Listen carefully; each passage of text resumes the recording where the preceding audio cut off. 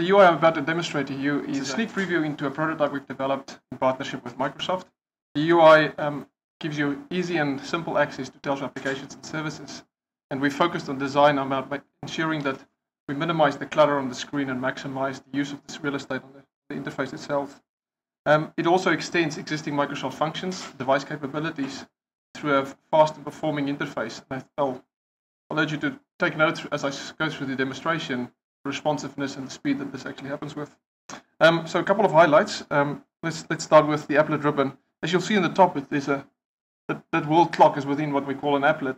And there is numerous applets installed on this device. And what it does is it's got about nine, we will, we will, um, it will have the ability to serve up nine of these applets.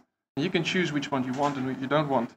The idea for these applets is to bring information that's in, on the device or on your web, websites to the surface of the idle screen and present that information effectively on your home screen of your device. Um, very easily, this can be extended to consumer applications and business services. And let me just show one of them. If I look at Facebook, if you look at Facebook, um, this is an application or it's an example of an application that can run on the device. Brings the Facebook notifications and status updates right to the surface of the device. Now, take that same example and turn it into business applications.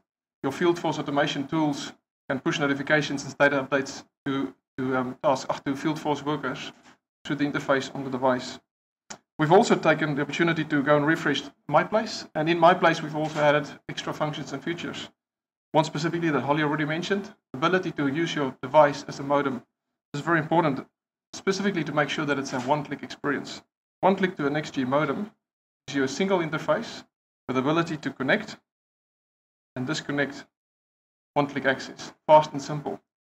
Um, one click takes me back to the interface itself. I just go across the screen um, in here, we've also added a couple of personalization options. For example, you have business applications and services. You bring your business applications, you can choose what you want and what you don't want on this interface and add them. Same thing applies to contacts. Choose your contacts. And then lastly, um, one thing that's very neat, we've taken the opportunity to enhance the interface for lists. And if you look at a list view on, it, on these devices, specifically on a touchscreen, the ability to manage that list like that and scroll through your list go back to my, my contacts. I can scroll through my contacts the very same way.